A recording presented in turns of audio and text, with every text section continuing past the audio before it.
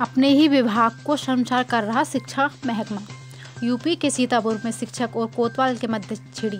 Lara भी थमी भी नहीं थी, इसी बीच माहौली तहसील क्षेत्र के ग्राम मोडिया और चडरा स्थित सरकारी स्कूल में बारात उगने और नर्तकियों के द्वारा अश्लील डांस करने का सनसनीखेज मामला इन दिनों चर्चा में बना हुआ है।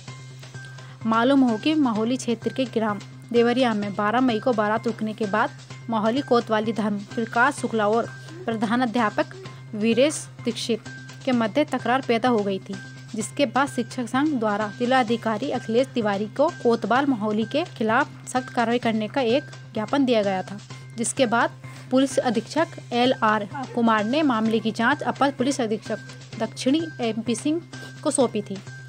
यह जाँच वर्तमान में अभी जारी है, लेकिन सवाल यह उठता है कि शासन देश पूर्व में जारी हो चुका है, इस परिप्रेक्ष्य में ए अजय कुमार द्वारा। सभी खंड शिक्षा अधिकारियों के पत्र भी जारी किया जा चुका है।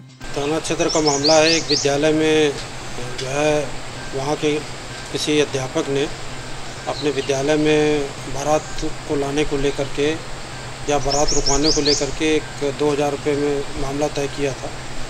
और जब उसकी बारात आने को कल हुई तो उसने तीन हज़ार रुपये की और डिमांड किया। जिस पर उसने आपत्ति किया, कहा कि साहब, पहले आप हमको बता देते तो हम जो है यहाँ पर, कहीं और हम तय करते। तो इसकी शिकायत उसने थाने पर किया। तो थानाध्यक्ष द्वारा संबंधित अध्यापक से इस संबंध में पूछताछ की गई, क्यों आप ऐसा कर रहे हैं?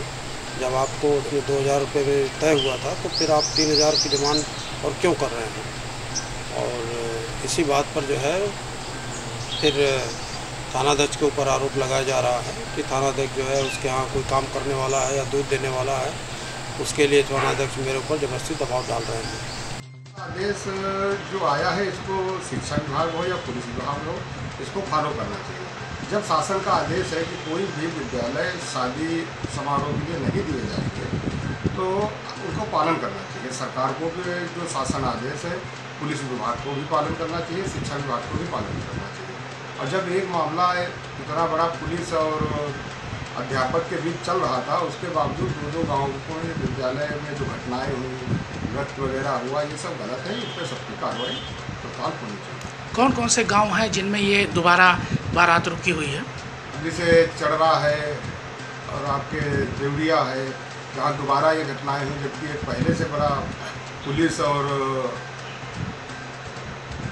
टीचर के बीच में इतना घमासान चल रहा है, सब कुछ हो रहा है, उसमें आडियो भी है पत्थर का उसमें कह रहे हैं, ताला तोड़वा देंगे, फिर बाद में उन्होंने ताला भी तोड़वाया, ऐसा कुछ चल रहा है। ये सब गलत है। शासन का जो आदेश है, वो सर्वोपर है, वो सबको मानना चाहिए, शिक्षा विभाग को भी मानना चाहिए और पुलिस को भी मानना चाहिए।